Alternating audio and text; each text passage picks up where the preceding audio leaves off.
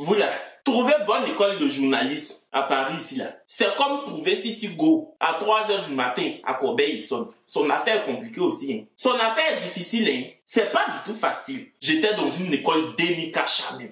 École sur Malo-Sou. Le riz qui n'en pas d'où la Malo. Malo-Sou. Ah, détournant. Détournant. Sagacité. Coupé. C'est dans ça je fréquentais. Générique. Franchement, avec cette école, j'en ai vu des vertes et des pas mûres. Des vertes et des pas mûres. En tout cas, si c'est pas mûr, c'était pas mûr. Si c'est pas mûr, c'était pas mûr. Générique. Coucou les chéris, j'espère que vous allez bien. Moi, ça va grâce à vous. Franchement, vous êtes mon oxygène. C'est un truc de ouf. J'ai dit, avant de commencer, abonnez-vous à mon Instagram bientôt les 100 000 abonnés. Abonnez-vous également à mon TikTok. On dit que TikTok paye maintenant. TikTok paye. S'il vous plaît, je vous demande pardon. Faites pardon. Regardez mes vidéos aussi sur TikTok, baba. Aujourd'hui, je viens vous expliquer la première école que j'ai fréquentée en France ici. Et c'était quelque chose. On m'a humilié dans cette école. En fait, hein, quand je suis arrivé en France là, c'est à Nice je devais fréquenter. Mais pour ceux qui savent, quand je suis arrivé à Nice, en moins d'un mois, je suis devenu SDF. Donc j'ai pris sauf que mes valises. Je dis que ho ha, bien, coûte que coûte, veille que veille, je m'en vais fréquenter à Paris. C'est comme ça que je suis arrivé à Paris, gare de Lyon, avec mes bagages. Je suis allé chez un oncle qui lui-même n'était pas chez lui. Je ne vais pas refaire l'histoire. J'ai souffert en français. Je viens de loin. Aujourd'hui, je suis dans mon appartement. Ma vie a changé grâce à vous. Eh Seigneur, toi-même tu voyais comment j'étais. Tu voyais ma condition. Tu m'enlevais des dents. Que petit, fais vidéo, penche-toi. Penche-toi, on dirait Sugar Hollywood. Tu vas voir, ça va doser. Et ça dose. Merci beaucoup. Je suis arrivé à Paris, j'ai cherché une école de journalisme. J'ai trouvé une école là. Je ne vais pas dire le nom. Je suis allé passer le concours d'entrée. Vraiment, ma vie t'a accepté. Hein. Ah, en tout cas, les écoles privées en France, ils acceptent vite les gens.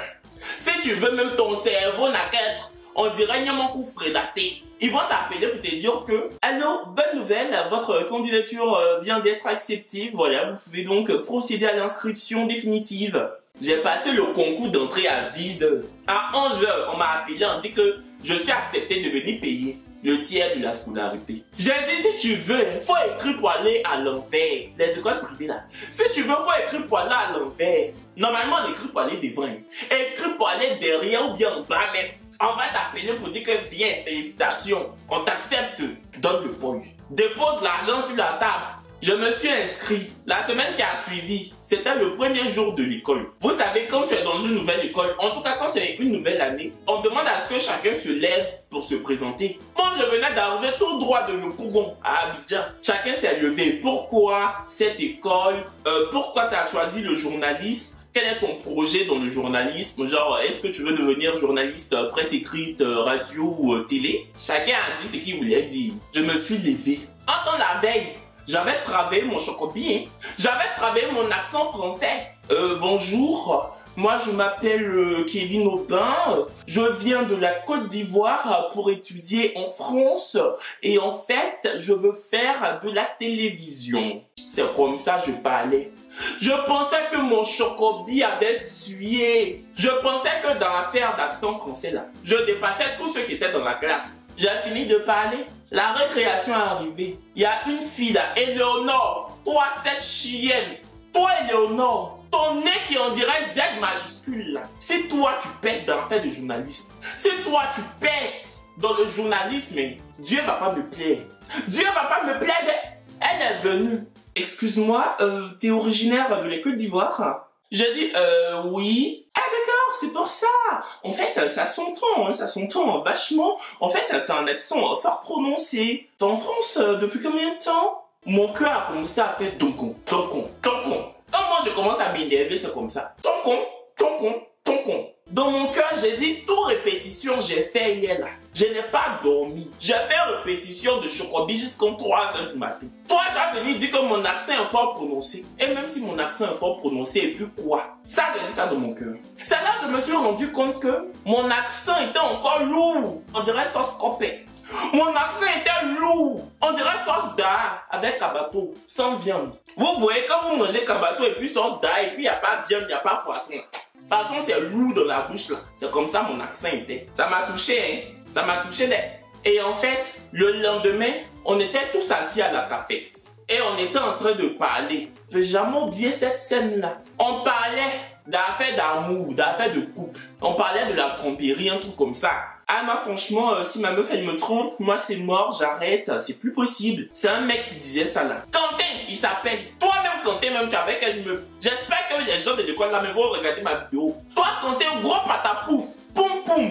Enfin, tu avais 18 ans, tu étais poum poum. Je suis pas grossophobe, mais pour ceux-là seulement là, je suis. Tu as poum poum Quentin, poum poum poum. J'ai parlé, mais sauf que je n'ai pas choqué en fait, je me suis oublié. J'ai dit, mais souvent tu peux aimer puis tu vas tromper. Hein. Euh, Kevin, euh, là t'as parlé en ivoirien Kevin, il a parlé en ivoirien C'est le Quentin, hein, le poum poum. Poum poum en pou. C'est comme ça sa forme est. Kevin, il a parlé en ivoirien. Eh, venez voir. Kevin, vas-y, euh, refais-le. J'ai dit, je refais quoi? Mais euh, comment t'as parlé là? T'as parlé en ivoirien?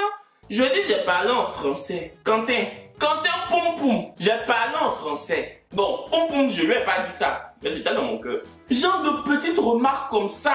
Une fois même on allait manger. Moi, Quentin, je vais dire vos noms. Je vous ai pas oublié. Oh. Même si j'ai fait que un an dans l'école là, je vous ai pas oublié. Moi, Quentin, il y a un an, c'était un métis. Rodrigue. Et puis Nadim, hein. oui, il y avait un arabe qui avait de longs cheveux comme ça qui dit que lui il vote Marine Le Pen. Je vous juste la tête de ma maman. Mais chacun a libre de voter pour qui il veut. Mais moi, tu viens d'arriver en France.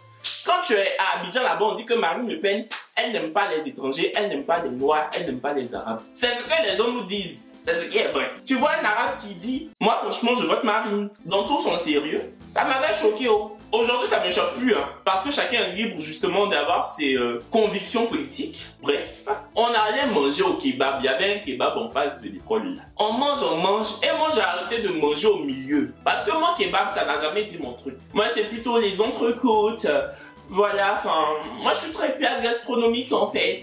Attends, je suis un artiste. Même si en 2016, je t'ai pas connu, mais j'étais déjà un artiste dans l'âme en fait. Franchement, moi, le, les kebabs, tout ça, tout ça, c'est pas mon truc. Si demain vous me voyez au kebab, c'est pas votre argent, j'ai pas vous payer. Je peux dire ici que c'est pas mon truc. Et puis demain, je vais aller foufa kebab. C'est ma bouche, c'est pas pour vous. C'est que je vous dis, prenez ça comme ça. Et puis taisez-vous, c'est ma chaîne. Donc, hein, on a allé manger. J'ai arrêté de manger. Le même Quentin Poum Poum là. Kevin, euh, t'as calé? T'as calé? Moi, je comprenais pas. Je cherche même ce que j'ai gâté dans le restaurant des gens. Peut-être j'ai gâté quelque chose, j'ai calé quelque chose, ça marche plus, je sais pas. J'ai dit comment ça? Ah non mais euh, tu connais pas l'expression? J'ai dit ah ah. Ils ont commencé à se moquer de moi. Rodrigue, Quentin Poum Poum. Et puis l'arabe qui avait long cheveux, on dirait réponse là. Vous connaissez Club des petits réponses, non Réponse de Marrakech, c'était lui. Réponse de Marrakech, c'était lui réponses sont arabes. Ils ont commencé à rire. Mon visage a changé. Amusez ma peine. Je me suis senti humilié. Je ne connais pas. Apprenez-moi. Est-ce que vous êtes obligé de vous moquer de moi? Rodrigue le métis là, il lui a dit que c'est bon les gars là, c'est bon, arrêtez. En fait, euh, Kevin en France, en France, quand on dit, surtout à Paris, quand on dit t'as calé, ça veut dire en fait, euh, t'es rassasié, t'as plus envie de bouffer en fait. Ça veut dire que t'es plein en fait, t'as calé, genre euh, t'as calé. Dans mon cœur, j'ai des gens expression ça là. C'est trop quelque chose qu'on doit connaître, quoi. C'est pour ça que vous vous moquez de moi. Je n'aurais pas dit ça, je regrettais. Je devais lui dire tout ça d'en face. Bon, vous-même voyez, t'as calé. C'est quelque chose qu'on doit connaître. Vous faites, on dirait, c'est une, une expression de ouf. Je suis désolé, elle a vu de ma mère c'est pas une expression de ouf. C'est pas une expression qui casse trois pattes à un canard. Moi, je suis désolé, en fait, à un moment donné. Arrêtez de prendre des gens pour des cons. Enfin, c'est bon, quoi. Vous n'allez pas vous moquer de moi parce que j'ai calé. Quand t'es un pom poum, si tu passes par là, tu fermes ta gueule, toi. Ta gueule toute ta vie, en fait. Et toi, Rodrigue, pareillement. Et, toi, la réponse de Marrakech, qui est aussi mince, parce qu'il était mince et arabe, qui est aussi mince que la lettre I, tu fermes ta gueule aussi. Donc, dans mon cœur, j'ai dit, mais vous vous moquez. J'ai calé que c'est moteur de voiture. J'ai calé là, c'est moteur de voiture. J'ai calé que c'est calé Grégoire. C'est calé Grégoire. On allait en classe. Je vais vous expliquer tout ce qu'ils m'ont fait là-bas. Un jour encore, je suis quitté à la maison pour aller à l'école. Ce jour-là, je n'ai pas eu le bus pour arriver au métro. C'était en hiver. Quelqu'un qui a quitté le Pougon. Son premier hiver, imaginez. En plus, je n'avais pas bon manteau. Hein. Ma maman m'a envoyé l'argent de bon manteau. J'ai divisé l'argent en deux. J'ai bouffé une partie. L'autre partie, là, je suis allé payer un vieux manteau qui habite, qui protège même pas Baba. Voici la photo. Ce jour, il faisait moins 2 degrés. Je suis arrivé en classe. Le froid m'a limé comme ça, comme si je lui devais. Comme si j'ai pris crédit du froid. Le froid m'a giflé comme si j'étais son neuf mois. J'arrive en classe. Quelqu'un, son corps est suggelé. Son cerveau est suggelé. Ses dents sont frigorifiées. Où est l'énergie? Je vais prendre pour chocolat. Je peux pas chocolat. Je n'ai pas d'énergie, donc j'arrive. Je dis, ah, on dirait que le prof il est en retard. Hein. Ou bien Audrey, il a appelé pour dire qu'il vient pas. Il y avait une fille dans ma classe là, qui s'asseyait à côté de moi, Audrey. Voici une aussi, Rosa l'amoureuse. Elle était amoureuse de tous les garçons de l'école. Elles sont en bas là. Sont en bas là. C'est plus que porte d'entrée de concert. Elle voulait que tout le monde passe dedans pour aller faire concert, pour aller chanter. Sont en bas. Elle voulait que tout le monde rentre dedans pour aller jouer baby foot. Toi aussi tu es une. L'éternelle amoureuse qui voulait noxer avec tous les garçons de la classe. Sauf moi, oh. je sais pas pourquoi, oh. mais en tout cas, moi, elle n'est jamais venue vers moi. Mon cher Mondo. Donc, je pose question à ma camarade Audrey. Elle était blonde même, la blondasse. J'ai dit que Audrey, le prof, n'est pas encore venu. La Eleonore, là, celle que je dis, son nez était, on dirait Z. Son nez, on dirait ça, là. Mon frère est passé. Elle ouvre sa gueule pour me dire euh, Kevin, à un moment donné, euh, articule en fait. Enfin, je sais pas moi, qui étudie en journalisme. Enfin, je sais pas, fais des efforts. Hein. Franchement, là, t'as posé ta question. Moi, je suis sûr, euh, Audrey n'a rien compris. Mais moi, j'ai pas compris, en fait. Enfin, limite, j'ai compris que la moitié, même pas le tiers de ce que t'as dit. Mais là, c'est amusant, en fait. C'est monté dans ma tête. Ce jour-là, je n'ai pas laissé. Ce jour-là, je n'ai pas parlé de mon cœur. J'ai dit ça pour pas. C'est sorti comme ça devait sortir. Je lui ai demandé, j'ai dit que, Eleonore, c'est toi qui payes mon école. On paye même scolarité. L'argent, tu donnes à madame la directrice. C'est la même chose que je lui donne. Je parle comme je veux parler. Tu sais où je suis quitté. Tu sais comment le froid m'a dit, tu avais dit, me dit, c'est à toi de poser la question. Faut pas m'énerver. Faut pas m'énerver. Ton nez qui est comme tes chaussures tu as porté là. Parce qu'elle aimait porter les grosses chaussures. Je dis ton nez qui est comme tes chaussures qui sont dans tes pieds là. Faut me voir, tu vas me déposer. Sinon, il m'a là. Ça va pas le faire. Elle me dit, eh frère, tu vas te calmer en fait. Franchement, moi, tu me parles pas comme ça. Et moi, je suis pas ta pote. J'ai dit si. On a joué dinette ensemble, Eleonore. On a joué la chasse aux animaux ensemble, Eleonore. On a joué Je déclare la guerre. Tu es jeune comme ça, tu t'appelles Eleonore. Tu es jeune comme ça, tu t'appelles Eleonore. Ça doit t'interpeller. Avant de parler de mon accent là, ça doit toi-même te faire tiki tiki ici. Eleonore, à ton âge, on a commencé à crier, crier, crier. La directrice est venue. Elle demande il y a quoi? J'explique. Ils disent, ils comprennent pas notre accent.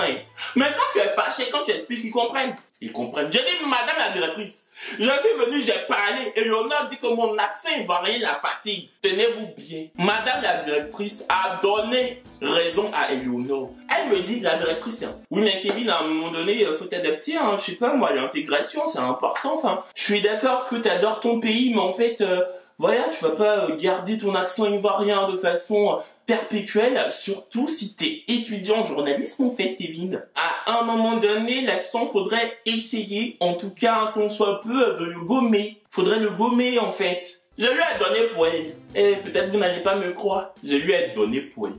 Je dis de gommer mon accent et madame. Là, là même, je n'ai plus dit madame la directrice. Je lui ai dit madame de gommer mon accent.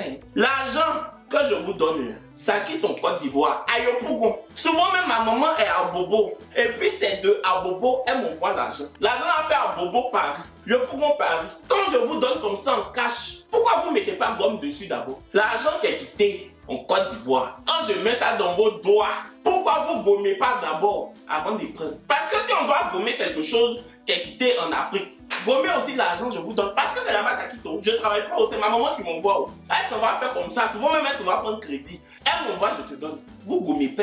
Quand c'est le boy, tu connais pas gomme. Tu as son allergie. Gomme, tu as son allergie. Quand il s'agit d'argent. Mais quand c'est ce qui est dans ma gorge, là, je dois gommer. Je lui ai dit ça, pourquoi Non mais Kevin, il ne faudrait pas le... Et puis vous-même, madame la directrice, si vous regardez ma vidéo là, je vais vous parler. Moi-même là, j'ai fait ce que vous. Votre en haut est gros, votre en bas est petit. Vous êtes, on dirait, échelle qu'on a mal construit. Faites là, on dirait planche à découper. Oui, madame la directrice. Vos fesses sont comme une planche à découper. On peut découper oignon tomate dessus, madame. On découpe et puis on cuisine. On foufa. On foufa. Elle a pris la défense de Léonore. Ya. Maintenant, le Rodrigue, le métis là, lui, hein, il est métis côté béninois. Son papa est béninois. Sa maman est blanche et française. Une fois, il y a quelqu'un qui a dit qu'il y a deux Africains dans l'école, Kevin et Rodrigue. Rodrigue a pété un plomb. Eh, moi, je suis pas africain, moi, je suis français. J'ai aucune attache avec euh, l'Afrique. Ma seule attache avec l'Afrique, c'est mon père. Mais sauf que mon père, ça fait 20 ans qu'il est en France, il part jamais au Bénin. Euh, moi, toute ma famille, elle est blanche, ma mère, elle est blanche, euh, ma petite amie, elle est blanche, ma belle famille, elle est blanche. Voilà quoi. Ce jour-là, j'ai parlé dans mon cœur encore. J'ai dit, c'est pas toi, c'est ton papa. C'est pas toi. Quel le daron? Ma seule attache, euh, c'est le daron. Hein. Le nénéron, c'est ton papa. Parce que quelqu'un qui inculque les valeurs de son continent d'origine à son enfant, son enfant ne peut pas parler comme ça. Ah, ah. Donc papa là même c'est un vendu. Donc ça m'a pas étonné. Et puis l'école là, le prof venait jamais. Si un prof est venu aujourd'hui, demain il vient pas. Vraiment je suis vite quitté là-bas. J'ai pris mes clics et mes claques, je suis allé voir ailleurs. Est-ce que j'ai soldé la scolarité même? Je pense pas. Hein. Je pense que c'est parti, il restait une partie. Mon cher il n'est pas payé. Mais ils m'ont donné mes bulletins quand même. En fait j'ai pris mes bulletins et puis je n'ai pas soldé. Donc, ils m'ont fou. Il y a prescription venez me chercher. Ouais, je c'est la fin de la vidéo. Je voulais vraiment euh, vous expliquer comment justement euh, euh, je suis arrivé dans cette école et comment ça s'est passé. C'était tout le temps des remarques très... Bon, je vais pas crier au racisme, hein, mais en tout cas très déplacé par rapport à ma couleur de peau, par rapport à mon accent africain, par rapport à mon africanité, c'était ça constamment en fait. Franchement, on me faisait des remarques constantes là-dessus en fait. Alors que quand il s'agissait de prendre mon argent, la directrice oubliait que j'étais africain, tu vois. Mais en fait, quand il s'agissait justement de discuter, de parler journalisme, plan de carrière, là franchement, mon africanité euh, la dérangeait. Limite, elle me faisait comprendre que ça pourrait être difficile pour moi justement de trouver un job dans le journalisme à cause un peu de mon accent très prononcé ou justement un tout petit peu de ma couleur de peau. Mais ça, faut pas le dire. Sale chiette que vous êtes, madame la directrice. Voilà, ouais, j'espère que la vidéo vous aura plu. Abonnez-vous à mon Instagram, encore une fois à mon TikTok. Lâchez des pouces bleus. J'ai adoré filmer cette vidéo. J'ai pris mon pied, la vie de ma mère. On se dit à jeudi pour une nouvelle vidéo. Franchement, là, je suis inspiré, là. Ah, j'adore ça. YouTube. YouTube me plaît, vous, là. Moi, je vous aime. je suis un artiste. Je vous aime. On dirait Dalida. Moi je veux mourir sur scène. Moi je veux mourir devant ma caméra dans 60 ans. Parce que pardon, 80 ans, si il y a 80 ans c'est bon, je veux partir. Plus de 80 ans là, c'est trop. Moi bisous les chéris. Ciao.